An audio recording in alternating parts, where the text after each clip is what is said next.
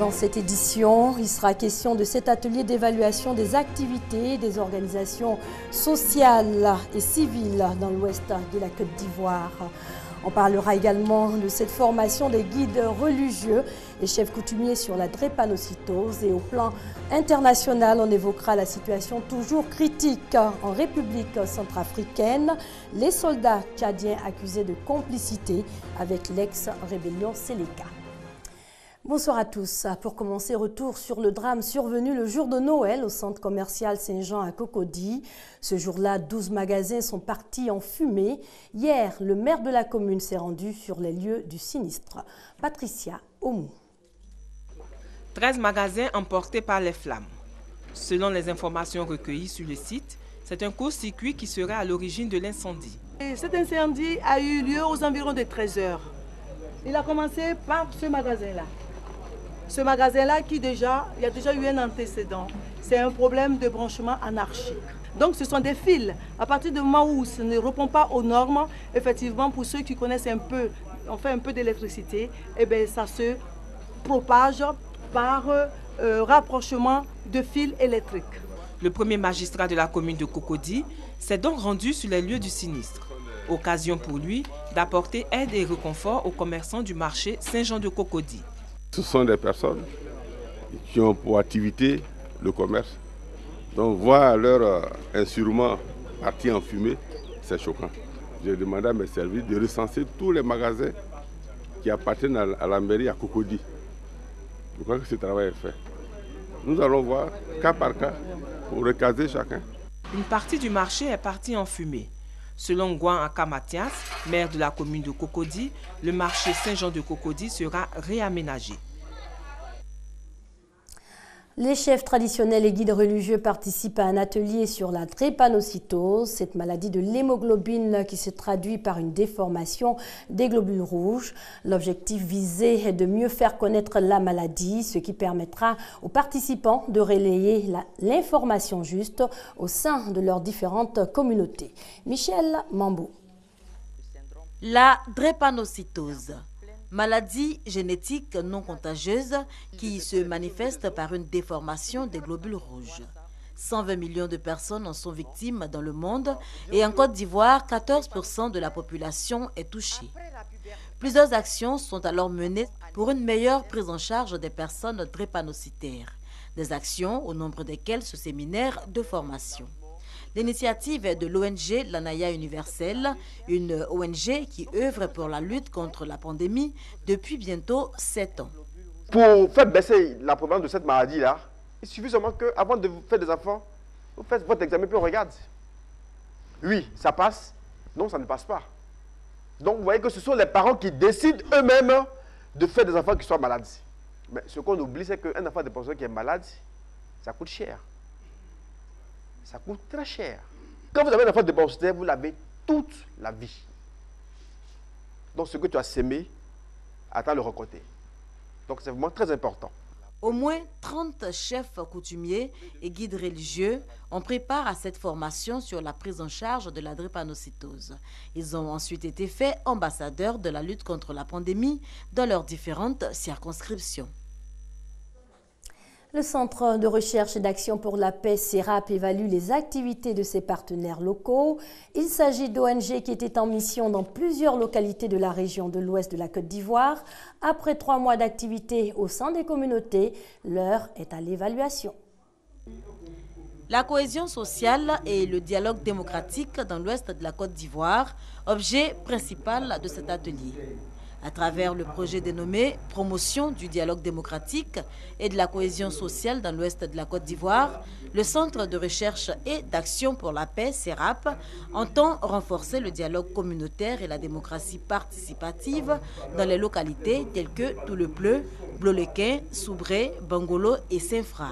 Après six mois d'activité sur le terrain, un bilan à mi-parcours. C'est un atelier d'évaluation à mi-parcours des activités des OSS euh, sur le terrain, c'est-à-dire les organisations de la société civile euh, sur le terrain. Et on est en train de voir euh, qu'est-ce qu'ils ont pu faire et qu'est-ce qu'il reste à faire et les perspectives. Nous pensons qu'il y a eu beaucoup de travail qui a été fait. Il y a encore du travail à faire, Mais il fallait déjà aller vers ces populations qui ont été déchirées par la crise post-électorale. Amener donc ces communautés à ne plus se voir comme adversaires ou ennemis, mais à chercher à se voir comme étant euh, concitoyens, comme étant des partenaires sociaux. Pendant les deux jours que dure cet atelier, démarré ce 27 décembre, les participants composés de représentants d'organisations de la société civile et de représentants d'ONG nationales et internationales auront à plancher sur les actions concrètes à mener sur le terrain. C'était un reportage signé Michel Mambou.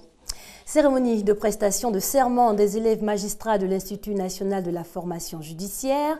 16 auditeurs ont prêté serment. C'était ce matin dans la grande salle d'audience de la Cour d'appel d'Abidjan. Abou Sanogo. Je Je Je Prestation de serment pour ces élèves magistrats en fin de formation. Ils sont ainsi prêts à exercer le métier pour lequel ils ont été formés durant 12 mois.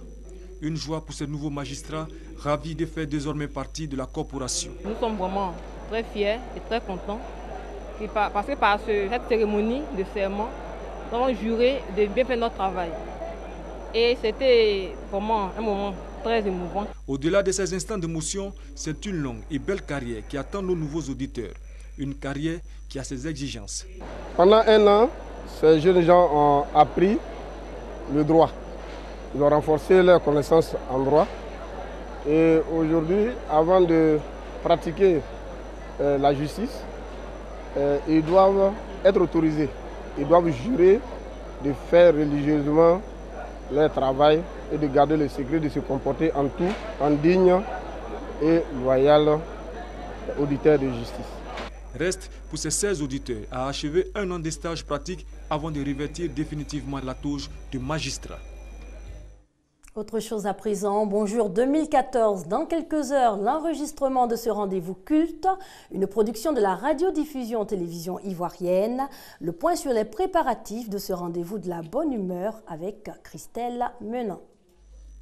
Une fois, deux fois, trois fois. Les premières émotions de l'année vécues par les téléspectateurs du monde entier en regardant la télévision ivoirienne, c'est souvent ça. Donc à partir d'aujourd'hui, tu bois plus d'alcool. Il arrive à la maison et ouvre son frigo, il prend une bière glacée, il me plonge dans l'eau une fois, deux fois, trois fois.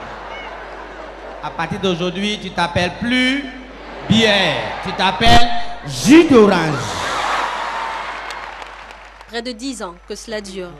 Et aujourd'hui, le succès est au-dessus des espérances.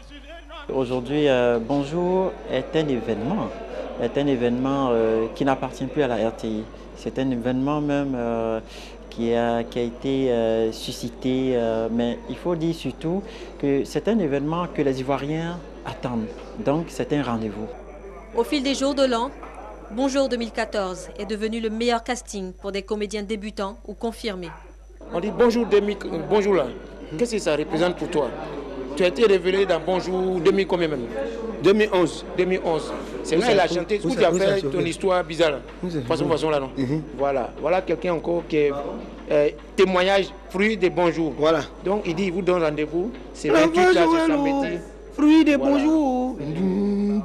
Venez. La cuvée 2014 de l'émission se compose d'humoristes talentueux, toujours soucieux d'arracher des fous rires au public. De l'émotion, de la gaieté, de l'humour, c'est ce samedi 28 décembre au Palais des Sports de Trècheville. ça là, c'est Jésus Andra, tu es au courant, ils ont le son. Nous tous ici, on est déjà affairés, vous êtes en Zoro, il ou elle s'est tombé dans les Yukuri.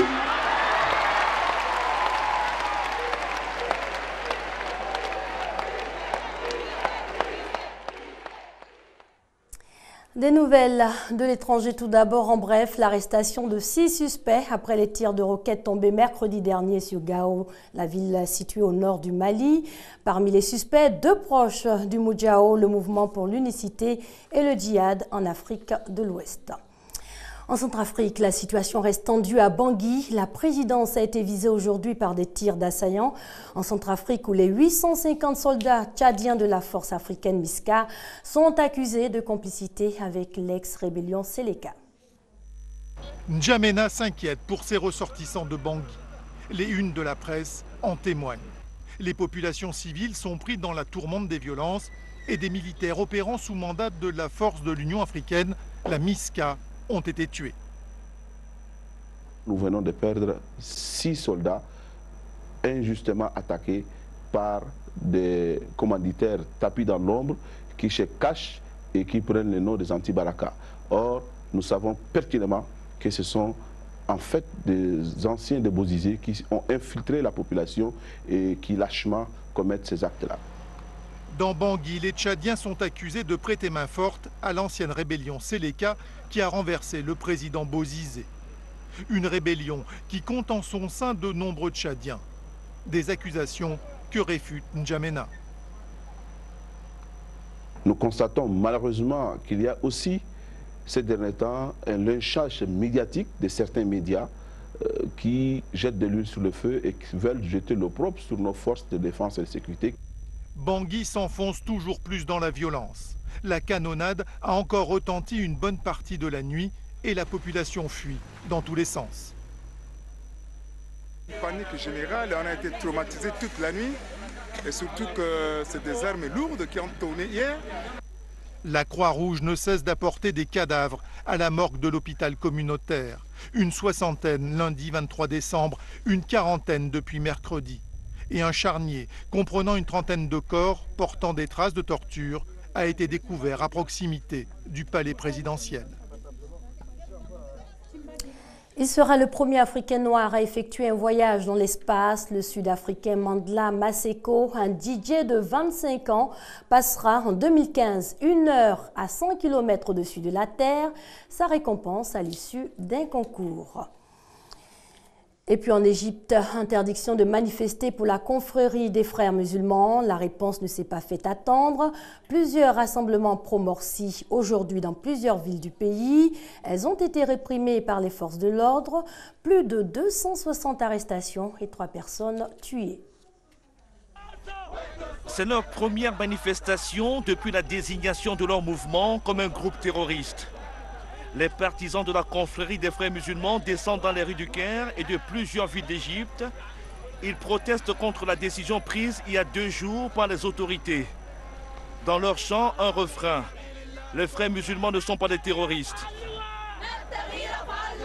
Soudain, une escouade de la police anti-émeute intervient. La manifestation pacifique dégénère. Les rues du Caire se transforment en un vaste champ de bataille d'un côté, les forces de l'ordre font usage de gaz lacrymogène pour disperser la foule. Et de l'autre, des jeunes réfugiés dans les locaux de l'université Al-Azhar répondent par des jets de pierre. Le face-à-face dure plusieurs heures. La police égyptienne annonce avoir arrêté au moins 148 manifestants partisans du président islamiste déchu Mohamed Morsi. Des arrestations opérées au Caire et dans plusieurs autres villes d'Égypte D'après les sources hospitalières, une personne a été tuée lors des affrontements dans la province de Minya, au sud du Caire. En Turquie, la police a dispersé cet après-midi des centaines de manifestants anti-Erdogan à Istanbul. Quant à la vaste enquête anticorruption, elle s'étend maintenant au fils du Premier ministre Recep Tayyip Erdogan.